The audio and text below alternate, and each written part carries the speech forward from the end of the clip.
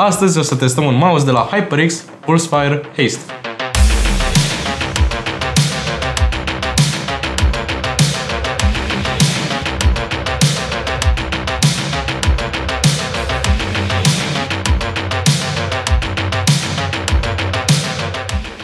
Uh, nu știu nimic despre mouse-ul ăsta, dar uh, o să aflăm împreună ca orice profesionist.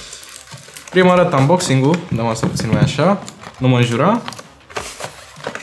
Știu decât că acest mouse este extrem de uh, Ușor. ușor. Vreau să zic slab. Singura chestie slabă ești tu. Eu, I know. În cutie, pe lângă mouse, ok, măricel. Și îmi place firul. Ceva HyperX, uh, cover nu știu ce. Manualul de instrucțiuni și mai avem aici niște chestii. uh, Benzi abrazive pentru lateralul mouse-ului ca să ai un grip cât mai bun. Dar cel mai mult ne interesează mouse-ul.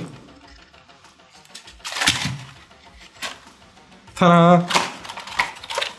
Ok, hai să... Mamă, chiar e extrem de ușor. Fără luminițe? Nice.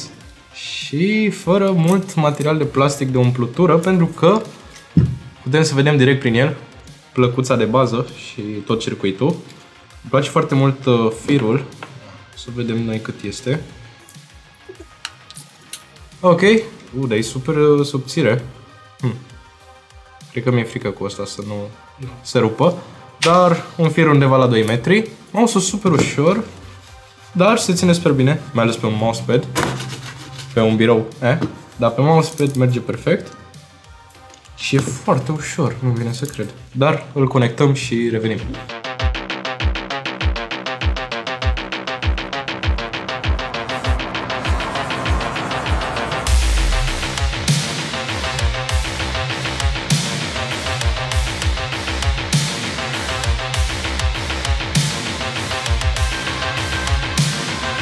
Acum că am uh, testat și mouse-ul de la HyperX, am tras câteva concluzii.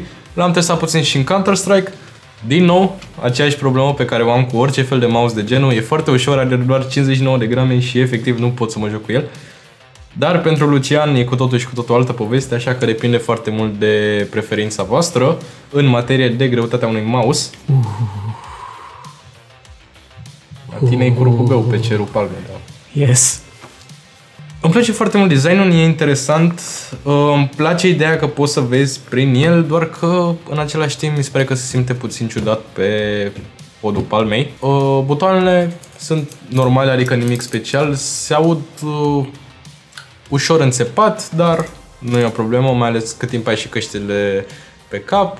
Fel scroll în schimb, este foarte silențios, adică nu se aude deloc, dar oricum problema cu butoanele, atâta timp cât ai niște căști pe cap, nu le auzi deloc, deci n-ar fi o problemă. Buton de DPI care nu se aude absolut deloc, decât foarte, foarte puțin înfundat, dar nu uh, e o problemă asta și butoanele laterale care se aud extrem de normal, uh, ca orice alt mouse de gen.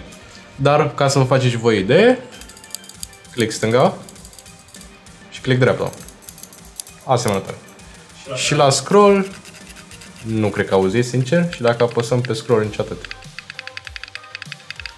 Iar butoanele din lateral, cam așa ceva.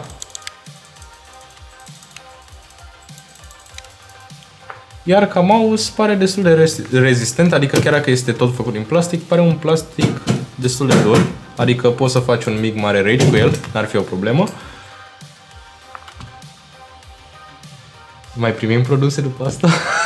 Vine și cu un uh, senzor de la PixArt de modelul 3335 cu până la 16.000 de dpi. Extrem de mult, nu știu dacă folosește cineva atât de mult, dar asta este. Așa că dacă preferați un mouse cât mai ușor posibil, uh, recomand acest model de la HyperX Pulsefire Haste.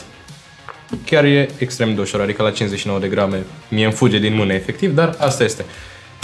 Ăsta a fost clipul, ăsta a fost mouse-ul, eu am fost Mihnea. Nu uitați că avem și Patreon, link în descriere, canal de Discord, dacă aveți întrebări sau nel- nelămuriri, puteți să le contactați acolo.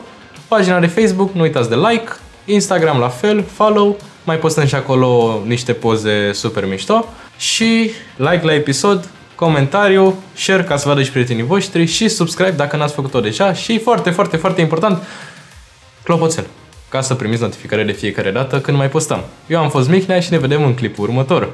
Ciao!